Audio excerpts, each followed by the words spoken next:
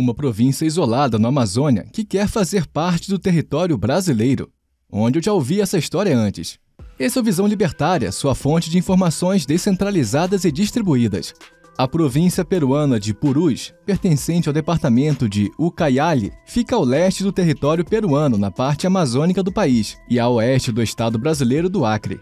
Possuindo uma área de 18 milhões de quilômetros quadrados, uma população extremamente pequena de apenas 5 mil habitantes e tendo a economia baseada na subsistência, como pesca, coleta de frutos e etc. Parte da Amazônia peruana está nesse território, que contém rios sinuosos e várias áreas de floresta tropical. A maioria da população de lá é composta por nativos que reclamam da falta de apoio que o governo peruano dá a eles. Além da instabilidade e conflito político que tem ocorrido no Peru, com a tentativa de golpe de Estado de Pedro Castilho, que tira o foco de cidades menores e regiões mais afastadas da capital, existe a Cordilheira dos Andes cruzando o país, que forma uma barreira natural que impede uma circulação fácil de bens ou até a construção de estradas para viabilizar o processo. Devido a isso, se torna muito mais prático e fácil receber os produtos para os mercados na fronteira vizinha com o Brasil, no Acre, do qual muitas das pessoas de Purus recebem auxílio direto de ONGs brasileiras, e as mulheres chegam até a atravessar a fronteira para a cidade brasileira de Santa Rosa de Purus para terem seus filhos com cidadania brasileira, tendo direito ao SUS e outros serviços pagos com o dinheiro dos nossos impostos, incluindo até medicamentos. Essa própria situação foi documentada pelas redes de TV no Peru, a maioria dos locais não tem acesso constante à energia elétrica e à água potável. Em uma entrevista dada por um dos líderes desse movimento, ele afirmou que o Estado do Peru abandonou eles, como peruanos, e que querem fazer parte do Brasil, pois é o único que os deu e ainda dá apoio. Mesmo que essa população não tenha sequer acesso às benevolências que o Estado diz conceder, tenho quase certeza que o governo de lá jamais esquece de tributar e retirar um pouco mais de um povo que já não tem muito. O governo peruano responde que eles mantêm sim a ajuda a eles. Algumas fontes apontam que, uma vez por ano, uma aeronave da Força Aérea Venezuelana ajuda a enviar suprimentos ao local. Nem precisamos comentar o quão ridículo isso é, né?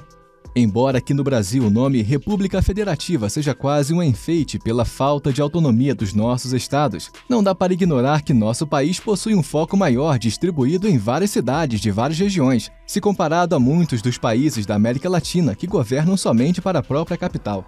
Podemos citar o próprio caso atual do Peru, em que o povo de Purus denuncia constantemente que o governo federal foca somente em aprimorar a própria capital, embora todos os cidadãos de todo o país continuem a pagar impostos igualmente.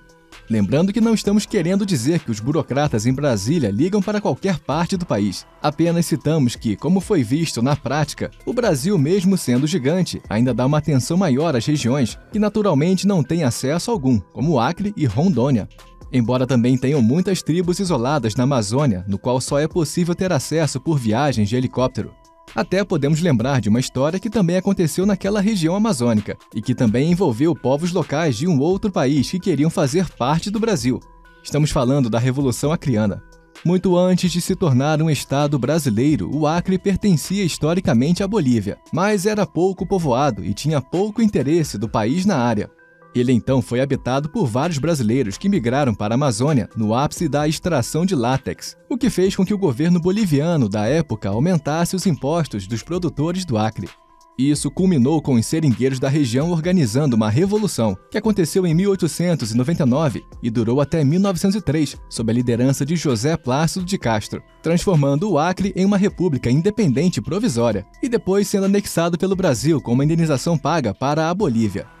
Os seringueiros brasileiros no Acre queriam ser anexados, pois enquanto permaneciam na Bolívia, diversas leis e impostos abusivos dificultavam a vida dos seringueiros brasileiros e a produção de borracha. Parece irônico acreditar hoje que um estado quis ser anexado ao Brasil por causa de impostos, não é mesmo?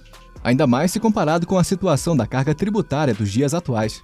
Mas para ficar mais claro a comparação geográfica, compare a distância entre o Acre e Brasília, mas diminuindo a distância e cortando o centro-oeste do trajeto. E ainda assim, com o governo não conseguindo suprir a população de lá por causa de uma fileira de montanhas que dificulta a passagem. Essa é a situação atual.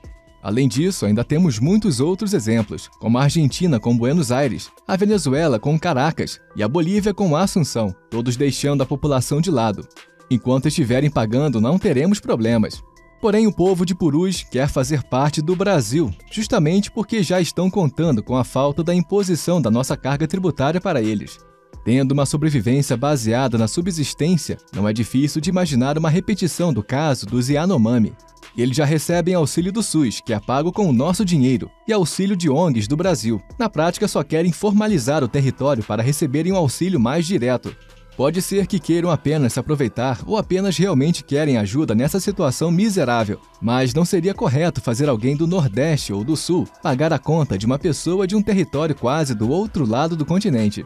Ao invés de serem anexados, o que já é obviamente improvável, a solução pode estar em um projeto antigo da nossa Câmara dos Deputados, que vem desde 2009, no qual previa a criação de zonas e municípios integrados economicamente na região da fronteira entre Peru e Brasil, facilitando trocas e translocação entre as pessoas da região amazônica mais isolada, garantindo tanto o abastecimento conjunto quanto um efeito positivo a longo prazo para ajudar a combater a miséria do envolto.